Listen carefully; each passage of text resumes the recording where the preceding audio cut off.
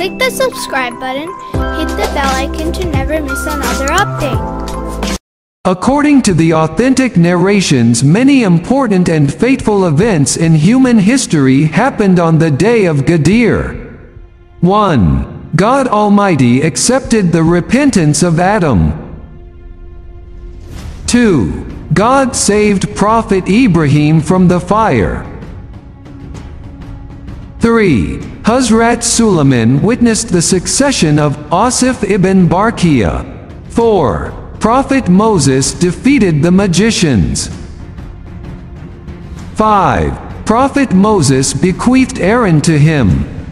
6. Jesus announced that Simon al-Safa is his successor.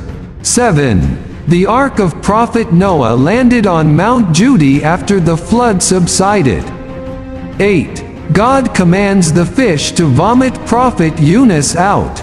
Lastly, on this blessed day, Prophet Muhammad, peace be upon him, appointed Imam Ali his successor and master of all Muslims.